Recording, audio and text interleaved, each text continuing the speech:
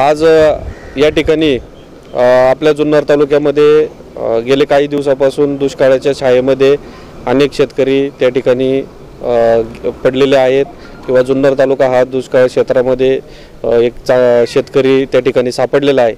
म्हणून विघ्नर सहकारी साखर कारखाने गेले काही दिवसापासून आम्ही या ठिकाणी आ- आणे पठारावर त्या ठिकाणी चाऱ्याची शेतकऱ्यांसाठी व्यवस्था केलेली आणि त्याच वेळेला आज पाण्याच्या टाक्यांचं नियोजन आम्ही आदिवासी भागातील काही गावांसाठी त्या ठिकाणी करत आहे.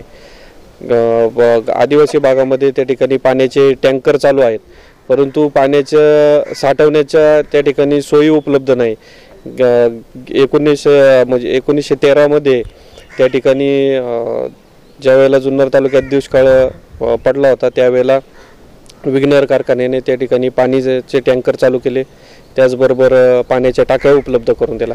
आणि आज त्याचबरोबर आज ज्या वेळेला पाण्याचं टंचाई मोठ्या प्रमाणात आदिवासी भागामध्ये जाणवते त्यावेळेला आम्ही विघ्नर कारखान्याच्या माध्यमातून या ठिकाणी चाळीस टाक्यांची उपलब्ध प आदिवासी भागामध्ये चाळीस टाक्या आणि दहा टाक्या या अ, आनेपठारावरील शिंदे पेमदारा ही जी काय वाड्या वस्त्या आहेत त्या ठिकाणी पाणी साठवण्यासाठी व्यवस्था करतोय.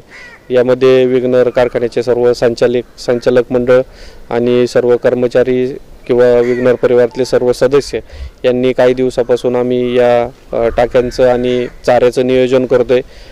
आजच अ, शिरोली कृषक सेवा सहकारी संस्थेच्या माध्यमातून त्या ठिकाणी आम्ही पंधरा टन चारा आणि पठारावर भागावर पाठवला. आणि उद्याच्या काळात विघ्नर कारखान्याच्या माध्यमातून ज्या ज्या पद्धतीने चारा उपलब्ध होईल त्या त्या वेळेला तो पाठवण्याची आम्ही व्यवस्था त्या ठिकाणी करणार आहोत.